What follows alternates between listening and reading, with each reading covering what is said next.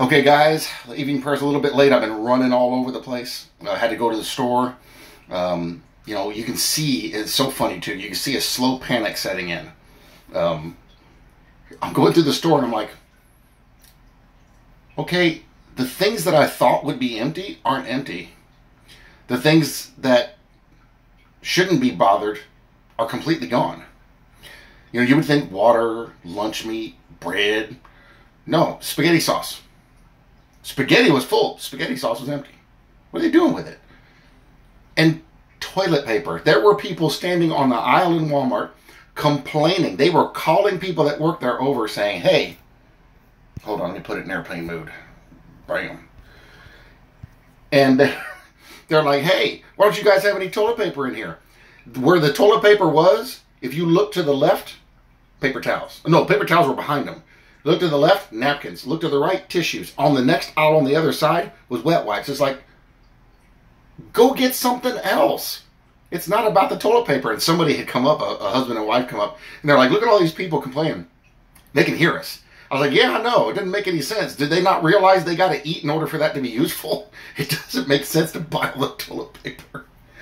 Oh, you can use a wet wash rag and just wash them. It's a, what's the matter with you guys?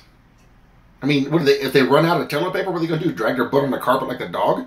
Come on. But see, this is how people think. It's weird.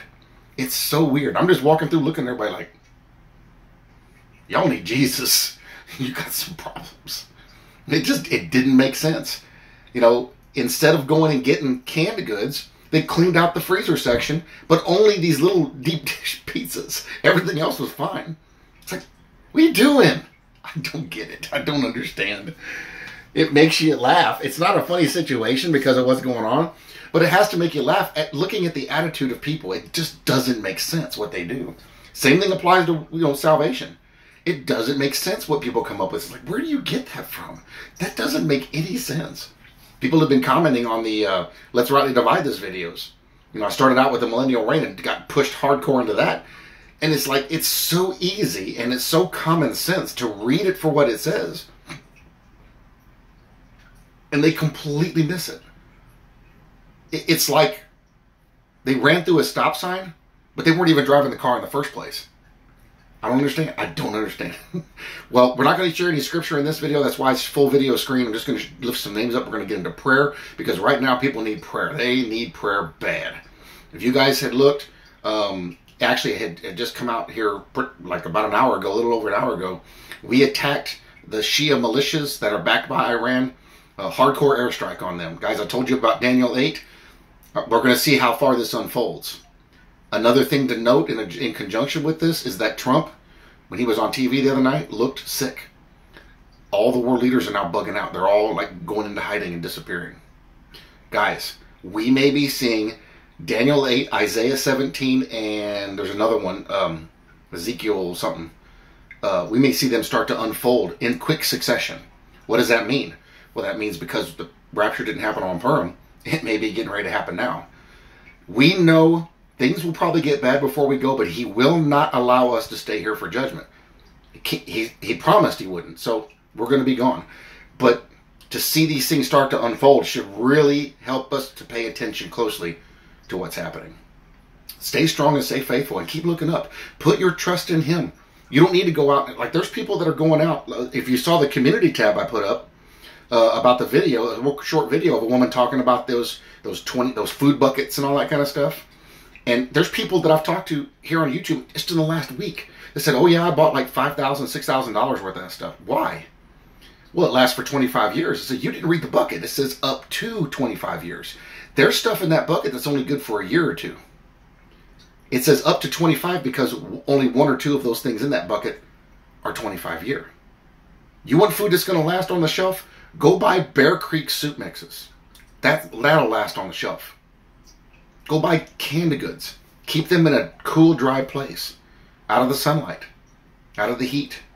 That's what the stuff that you go buy. If people aren't using their head and they're not doing their research, well, let me just lump sum buy all this and stick it on the shelf, and 25 years later, I know I got food. No, 25 years later, most of what you got is bad. In fact, five years later, most of it's bad, but you got to do research. That's why I post that stuff. to help people think and to understand what the right way is to do this stuff. And for us, especially if we're going to call ourselves faithful Christians, there's no reason for us to go out there and panic and go crazy and start buying a bunch of stuff. There's just no reason. Now, there's people that are using the excuse, well, I'm buying it for those that are going to be left here. But they may not get to use it. When they bring that big pallet load of stuff, your neighbor saw it. I'm just saying. Okay, let's lift some names up. Let's get into some prayer. Man, the flow was coming today. I filmed three, um, and all of them were over an hour. Three, let's rightly divide this videos. The flow of information. I could do another one right now. He refreshed me, and there's this constant flow of information. I still have comments and emails I have to answer, but I've been all over the place. It's been it's been actually been interesting to see what's been going on, and you know I'm just at peace with it because I was going into town and coming back. I'm I got my uh, phone Bluetooth to my stereo. I'm listening to music, singing along, and just having a good time, just driving, doing my thing. But I'm seeing that panic start to build. People are starting to freak out, and it's like I'm just gonna stroll along nice and slow and be a light and be an example, let them lose their mind. I'm not going to do that. I choose not to do that.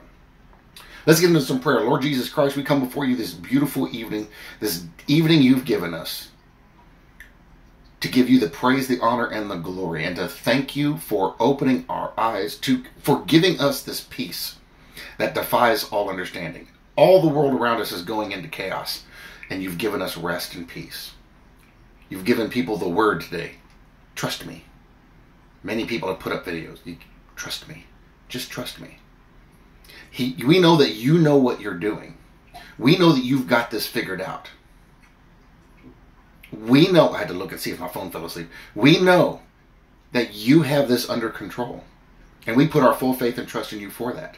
We know we're saved because we believe you're the Son of God. It's that simple.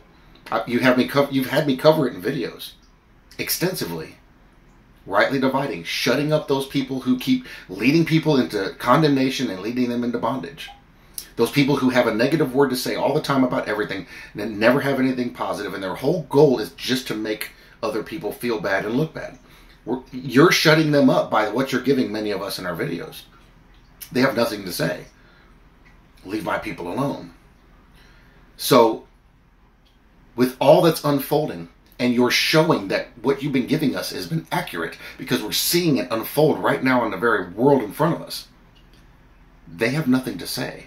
And after you take us out of here, they're not going to have an excuse. But Lord, thank you for opening our eyes. Thank you for choosing us to be a part of this on the good side of it. Thank you for this promise of rescue to be delivered out of the wrath to come. We see it about to start. Thank you for calling us to this calling, to our ministries, to offer prayer and intercession, to offer edification to the brothers and sisters, for us to pull together as a family in love and in you. And you've been answering the prayers like crazy. I have more praise reports. Lord, tonight I lift up Lisa Bruno. She has migraines and she has doubt. Lord, we know what about we know about that doubt. We know what's going on with that doubt. We know where that comes from. Lord, take that away from her. Give her that peace that defies all understanding. You've eased my migraines, Lord, ease hers. That doubt causes some of those migraines. Val, him and his wife are asking for strength, peace, and endurance. Lord, give them that strength, give them that peace, especially that peace, and give them that endurance that they can stand strong in all that we see unfolding around in the world around us. Lord, you already, there's a praise report attached to this one. I was going to lift up Sister Trish last night. She's sick and needs protection and peace. Lord, you delivered her. All she has is bronchitis. And we, we hadn't even spoken the prayer and you had already answered it. So there's our praise report and our lifting up in prayer. Thank you, Lord. Laura, Lord knows her issues. I get a lot of prayer requests like this. Lord, you know what's going on. Deal with those issues. You know what's happening in that life and in the lives associated with that life. Lord, handle that only like only you can in your perfect way. Texas Sweet Pea has a praise report. Her son, her son Gus, called. She is now in, back in connection and communication with him, and that's what she prayed for. Lord, you answered the specific prayer that we made. that he would call and he would talk to her and they could reconnect. And you did that. And she's so happy. Thank you, Lord, for answering that prayer. Lord, she's in a lot of pain. Could you please ease her pain and give her that peace that defies all understanding? Angel Eyed Girl has is suffering from severe insomnia, aren't we all? Lord, I was in that last night too. It is what it is, and you know what? You just rock on and do what you can do. But you know, you gave me rest this afternoon. Lord, strengthen us and build us up and embolden us to be able to reach out to each other, to make intercession for each other. I make intercession right now for all those struggling with their faith that you settle them in their faith. For all those that are having problems with the truth that you root them in the truth. For all those that have doubts and questions that you get them that peace that defies all understanding and to show them they are yours and you will not let them go away. You will not let them suffer. You will not let them be caught up in this wrath. That wrath is not theirs lead them to anyone's videos that that that completely speak about this and show them the scriptures that talk about this. Lord, I pray for everybody that you get them back into your word, get them into the scriptures. Lord, we see the time is up. We see everything unfolding. We've never had this before in our world, ever. You, we can't say that it's going to be another 10 years. There's too much is happening. Lord, let help us to win that race to reach the very end in glory and in triumph. Help us to reach that end having faith in you. Lord, I lift up all those who are railing and all those who are mocking and scoffing. Lord, I'm not going to pray for their salvation because you've already dealt with them according to how they, they the choices they've made. All I ask, Lord, for them is that you open their eyes to see the truth to see it and then have the opportunity to choose it. Because if they know without a shadow of a doubt what's going on and what they're doing and they choose otherwise, there is no excuse. They have no excuse. They can't say, I didn't know, but I didn't know. All those that are in doubt, that are caught up in, in deception and are caught up in bondage in that, Lord, I pray you release them from all of that. Give them that peace that defies all understanding.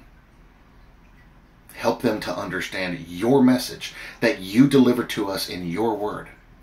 Help them to love you and have faith in you, and to stand strong in you, and to trust you.